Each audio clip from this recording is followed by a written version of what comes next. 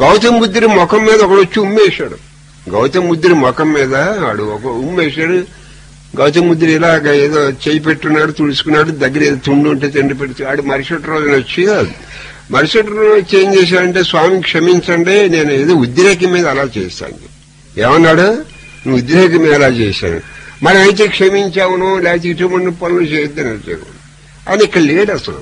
ఎవడో నా మీద ఉమ్మేశాడు ఆయనకు ఆ- లోపల మనస్సు ఉంటే అది అవమాన భారం వస్తుంది. లోపల దేహ దేహాత్మ బుద్ధి ఉంటే అహంభావన వస్తుంది. అది లేదు కదా ఈ దేహానికి పరిమితం అయ్యలేడు మనస్సుకి పరిమితం లేడు. ఇంద్రియాలకి పరిమితం లేడు. ఎక్కడో ఉన్నాడు ఈ ఉమ్ము ఉడికే శరీరం మీద వేసాడు కానీ అక్కడ పడలేదు.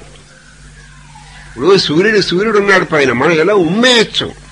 వాడు ఉమ్మేస్తే సూర్యుడు దూరం వెళ్తుంది. అక్కడ అంత దూరంలో ఉన్నప్పుడు ఈ ఉమ్మ అక్కడికి వెళ్తే నేను ఆయన ఏమన్నాడంటే అసలు నువ్వు ఉమ్మేసావున్న సంగతి నాకు గుర్తులేదు అన్నాడు ఏం చేద్దాం వాళ్ళు ఎక్కడో ఉంటారు వాళ్ళు.